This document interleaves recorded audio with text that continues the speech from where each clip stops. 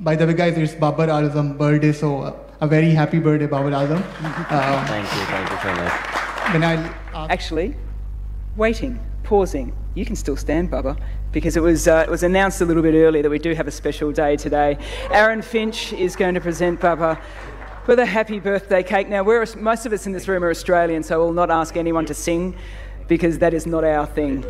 But uh, we will give him a round of applause. Happy birthday, Babar. Thank you, thank you so Freshly made today by Aaron Finch. What flavour? No idea. No idea what flavour it is, but I'm sure it'll be very, very nice indeed.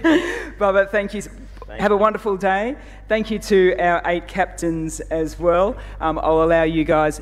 Just actually, I might get you guys to sit there because we'll wrap things up very quickly indeed. I think most importantly now, the most important thing for everyone to do is set your alarms because at 3 p.m. tomorrow, Australian Eastern Daylight Savings Time, uh, you don't want to miss the first ball of the ICC Men's T20 World Cup. And if you're like me, don't